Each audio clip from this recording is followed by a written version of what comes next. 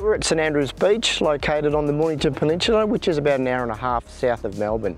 I think here the best thing about St Andrews Beach is it's such a beautiful natural setting. It's in a beautiful location, close to beautiful wineries, beaches. It's a top 10 golf course. It's a premium golf experience that anybody's allowed to play.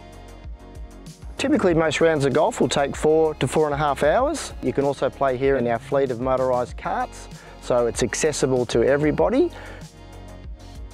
And certainly our guests appreciate that we offer a range of hire equipment, so we can kit you up with whatever you need to get you around on the day.